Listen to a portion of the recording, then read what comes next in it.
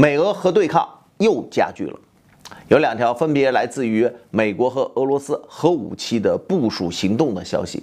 一条呢是俄罗斯国家航天集团公司总裁，他叫鲍里索夫，昨天对外正式宣布的，说俄罗斯萨尔马特洲际弹道导弹现在已经正式进入战备执勤了。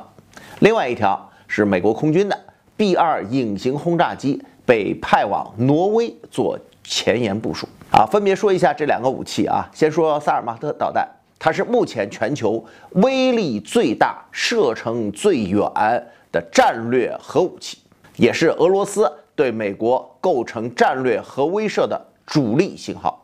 这萨尔马特导弹啊，在去年的时候就多次进行了发射试验，它一枚导弹足可以摧毁一个中等的国家。那么现在正式进入部署，进入到战备执勤状态，随时可以发射，也就意味着对美国已经构成了现实的核战略威胁。这是一个。相比之下，美国空军的 B 二隐形轰炸机部署到挪威，这里头的名堂就相对更多一点。我们大家都知道，B 二隐形轰炸机是目前全世界范围内唯一一款实战部署的隐形轰炸机。它呢，平时是以美国本土为基地的，阶段性的会部署到欧洲。那么到了欧洲呢，基本上都是在英国南部的菲尔福德空军基地进行部署。而这一次，这 B 二隐形轰炸机一改以往，没有去英国，而是派到了北欧的挪威，那儿有一个叫厄兰空军基地。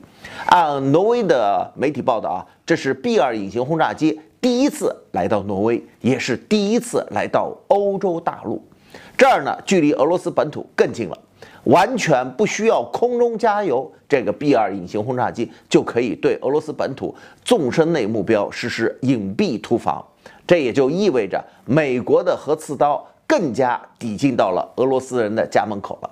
去年啊，美国的 B 五十二轰炸机就曾经到了波罗的海。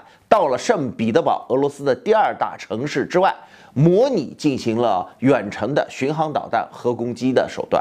现在啊，更加先进的 B 二隐形轰炸机也来了。那么也就意味着俄乌冲突，美俄双方都把自己的杀手锏拿出来了。俄罗斯拿出来的是萨尔马特这个大杀器，而美国则是把全球唯一的一种隐形轰炸机也派上阵了。俄乌冲突爆发之前，当时。普京曾经拎着核密码箱啊，参与到了俄罗斯战略核威慑演习之中。外界啊也不停的有消息说，俄罗斯如果在俄乌冲突的战场上作战失利，很有可能会动用战术核武器。此外呢，就在两三个月前，俄罗斯的战术核武器也已经部署到了白俄罗斯境内。而相比之下，美国的战术核武器在欧洲部署的要更加广泛。现在最新消息又说，美国的战术核武器还要进一步部署到英国。从去年美国在欧洲的这种战术核武器的平时演习的规模、持续时间也进一步延长了。我们讲啊，美国和俄罗斯之间爆发核战争可能性非常小啊，就像美国总统拜登所说的一样，如果一旦美俄之间发生武装冲突，那就是核战争，就是世界大战，就是人类的末日。这个无论是美国还是俄罗斯，现在啊都不敢轻易迈过这个门槛。